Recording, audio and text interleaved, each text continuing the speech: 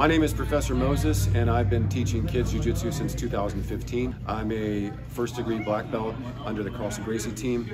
We moved here to Hendersonville a little over a year ago, so the school is about 14 months old, we have over 30 kids in our program already.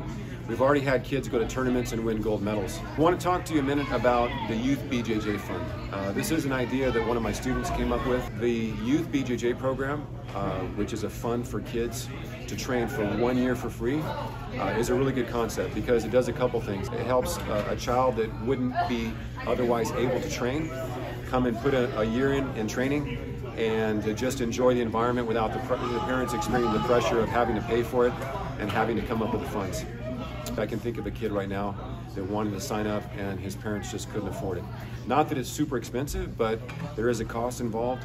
So I'm really uh, encouraged by uh, this program going forward, and I'm looking uh, forward to see some of the fruit that it's going to produce. One of the reasons I think that Jiu-Jitsu is so good for kids, it, it helps them uh, carry themselves with confidence knowing that they're not uh, vulnerable to bigger kids or, or, bullies. When I moved out here uh, in 2022, I started the school because I realized that Hendersonville was growing and that there was only one jiu-jitsu school in Hendersonville at that time and it was all the way on the other side, right on the border of Gallatin. So we're over here on West Main. Everybody knows where Shipley's Donuts is. It's in the old David Deaton Karate Building, which was a karate studio for over 30 years, and it's a great fit for us.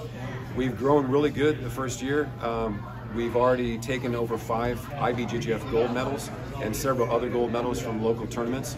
And so our team is solid and they're doing a great job. One of the goals I have for Tennessee is that this is the first Carlson Gracie school in Tennessee. Carlson Gracie has a, a well-established presence in other regions around the United States, such as Florida and Southern California, Chicago, for example, Arizona. And uh, this is the first school here in Tennessee.